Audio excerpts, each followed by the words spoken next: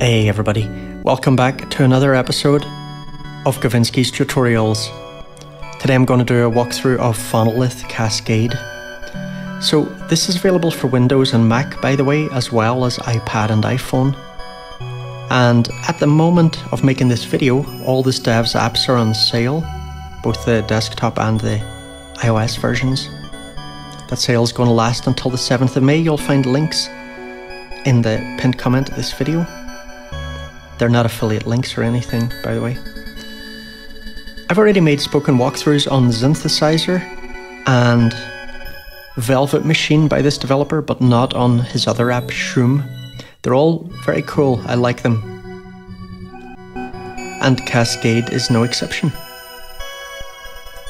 So it's just a super interesting reverb plugin. It's really good for experimental stuff. And what I love about it is how the knobs interact with each other.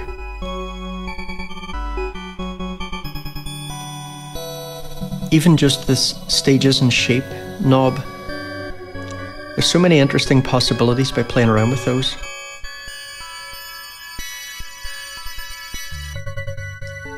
And you can do some really experimental stuff with this. So, um, listen to this, for example. So here I'm just using async to um, play back a, a little vocal sample in a kind of glitchy way. And then here adding cascade to that, and it's just doing all this really weird resonance stuff. I like adding a bit of panning to that. This works better after than before for me. Also enjoying putting it through Revolve. Nice to put it through a little real space impulse response after as well. That's adding something for me. So yeah, you know, that's the original. So it can get pretty radical. Pretty radical. So here, uh, just to let you hear what the input is. So here I've got Moto Akami. I did a video on this. First going into one Bleass slow machine, and I set that up exactly the way that I wanted. Basically pitching, pitching it down, pitch down loop, then sending that into another slow machine, and then into Scatterbrain for some glitchiness. I, I, I, generally use Scatterbrain in this very simple way, just as a little glitch machine. I'm not even bothering with the multi-out capabilities that this has, which are very useful, but yeah, I'm not using that here. And then going into Cascade. So I'll go through the whole UI and um, explain how things work. First, just give me 10 seconds. I want to thank those of you who are supporting me financially in different ways. Like some of you are Patreon members. Some people have made direct donations from time to time, or um, people who used affiliate links or booked a one to one consultation with me. So I've noticed an increase in people using that plugin boutique link that you'll find in the pinned comments of all my recent videos. And um, really, thank you guys. You know, I have been asking people if they would consider using that more when they're buying desktop plugins, and people are doing it. And that support is just crucial because Apple doesn't have an affiliate program, hasn't had one since 2017. And that's why there are almost no YouTubers left in the iOS space. So it's really important that if you're a fan of making music on the iPad, if you watch a lot of videos, if you buy a lot of apps, really consider, even if you don't support me, support some other YouTuber you like. You know, if we all really need support. Okay, so back to Cascade. So we're going to switch over for the main UI walkthrough to this really simple little harpsichord sound here. And let me put that through Cascade.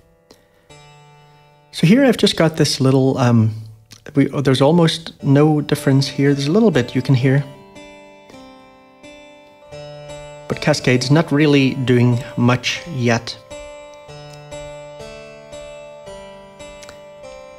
I'll actually switch over to some factory presets first and while I explain the main concept behind this plugin. So it's called Cascade because it uses a chain of 24 all pass delays, well, up to 24. So that's the number here that says 4, that means it's just using 4 all pass delays at the moment. So we can have that anything from 1 up to 24.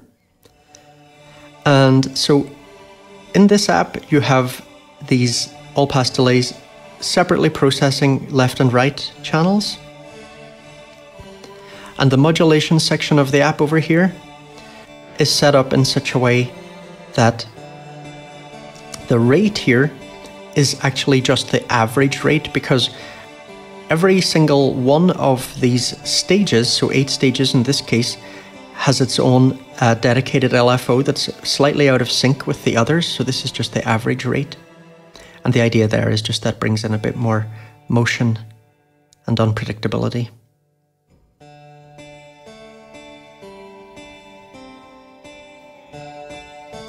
And in the input section, we can adjust the width of the sound. So 100% full width, 0 that's summed to mono, minus 100 is reversing the left and the right channels. And you can apply high and low cut there at the input stage as well. Now I'm going to flick back to this little default patch. So in the diffusion section, we use stages to set the number of delay stages. And you can see here with shape set to zero, when we start to, when we've added in a few stages at this setting, it's kind of a bit like a delay. And on this harpsichord, it sounds a little bit like a mallet bounce effect.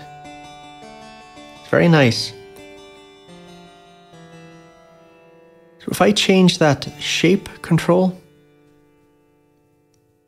that'll change. You see now that sounds more like a reverb.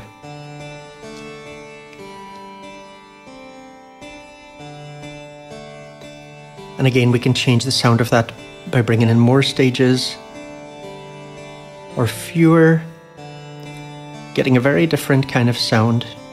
So these two knobs are really worth experimenting with. This graphic here on the shape knob shows the impulse response of a single diffuser, by the way. So the shape knob is adding diffusion, but it's also controlling the envelope and the amount of dry signal. So if this is down at naught, we have a single delay repeat. And then going up here, we're bringing in more diffusion I'm going to increase the number of stages a little bit. You hear how that sounds like a reverse effect? So at lower values on the stage knob, the envelope, it sounds like a reverse envelope. And as we increase that, we're getting more and more diffusion. And it's still got that kind of reverse sound to it. But when we start to bring it up above 0.618, now we're getting normal envelopes, but we're also getting more diffusion, so it doesn't sound reversed anymore, but it sounds more smeary. As we increase this, we're getting more diffusion, but we're also getting more dry signal. And so if we bring this all the way up to 1, it just sounds dry. Again, depend on you know, width knob and stuff.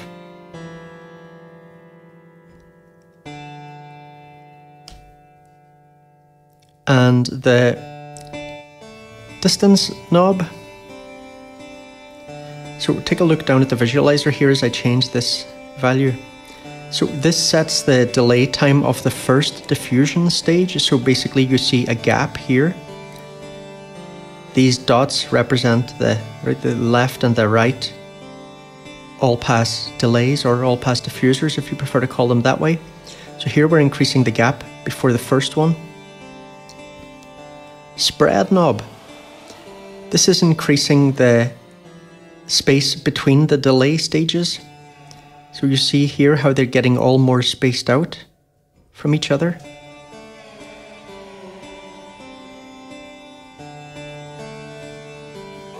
And we can uh, link these, by the way, if we want.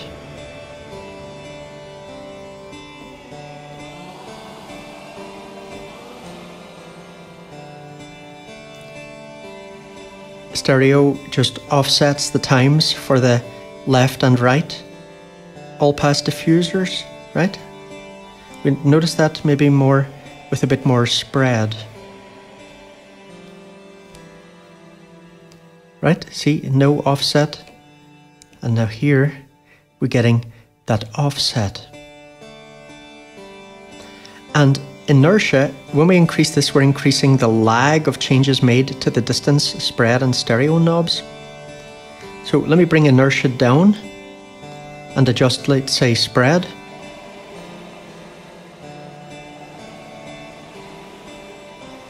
And especially if I adjust it quickly, But now let's bring in bring up a very high inertia value.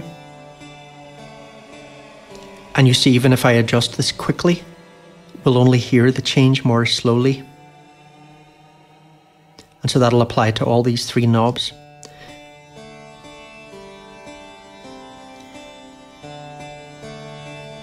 So actually, when you change the inertia knob value, you're not going to hear any difference. It's only after you've set a new value here and then you go and tweak these things, then you will hear some difference.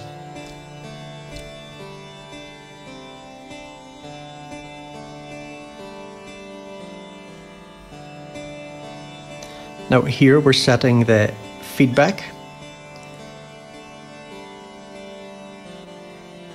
And we can turn on this feedback polarity switch if we want, and that'll flip the signal, the signal's polarity every time it passes back through the feedback loop.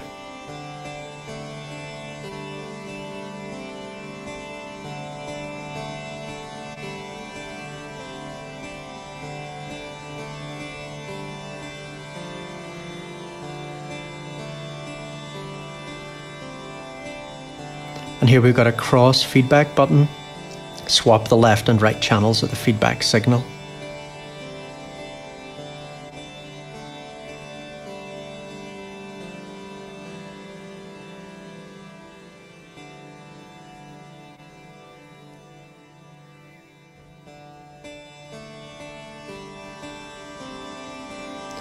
And here we can set the feedback to 100 by turning on this switch.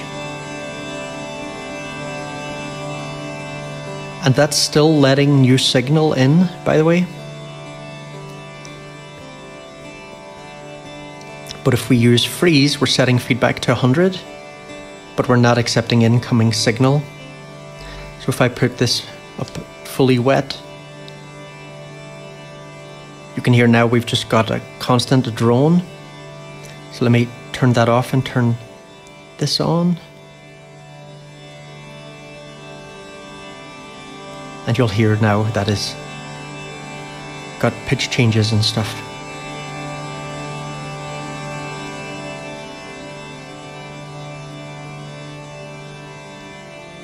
Bring the mix level down again.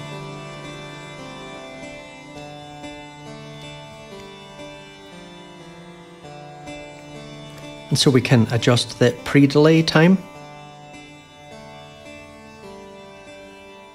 If you want to stop the reverb smudging up your dry sound too much. And you've got a delay value. The delay before the diffused signal is fed back on itself.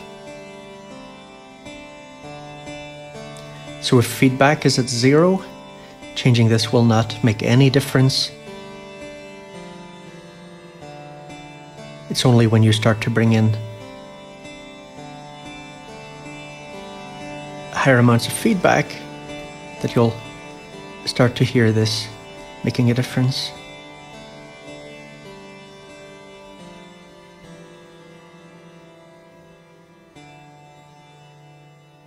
And you can set synced times for those, and you can link them if you want.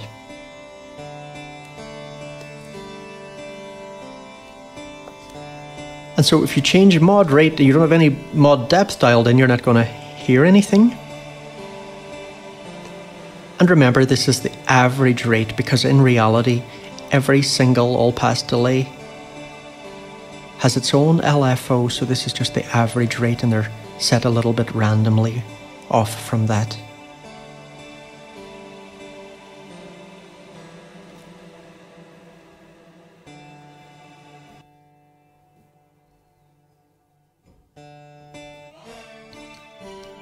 And so in the damping section, we can apply some filters. They'll go before the feedback stage. And you can adjust things by dragging on the graph itself here. Or you can adjust here.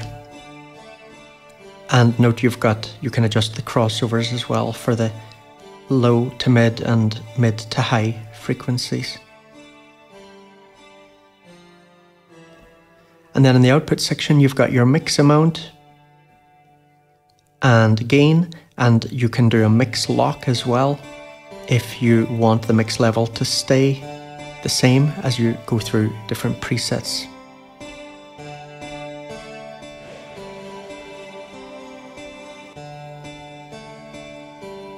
So go through a few presets and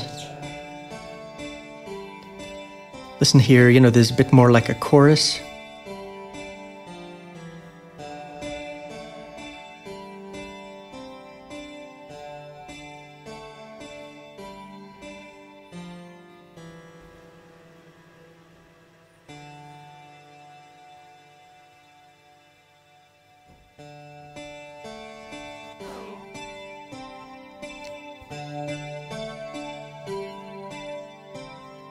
a little bit flangy.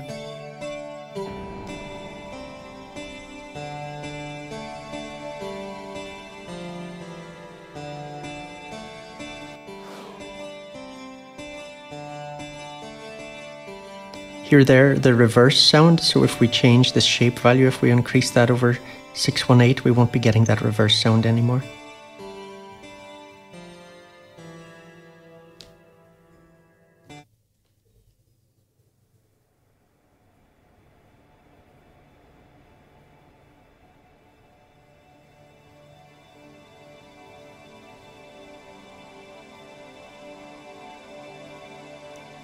Let's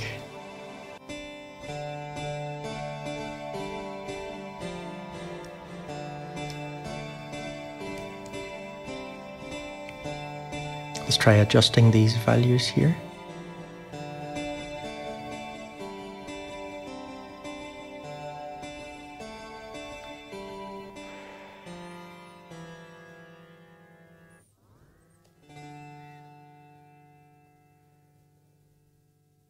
So, cool.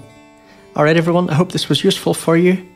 Uh, remember, my channel is not about trying to sell you apps. It's this is if anybody who's on, on a certain forum will know what I'm referring to here. I'm not some kind of app pusher. Uh, I hope that um, a lot of my videos might actually help people realize, oh, you know what? I don't really actually need this. Um, I've already got apps that can do that, you know? Uh, don't buy all the apps because it's just a distraction and it's better to learn the stuff that you have. So only buy things if you think that you need them and or you're going to use them and you're going to get pleasure from them. All right. Okay, I'll see you in the next video everyone. Take it easy. Have a great day. Cheers.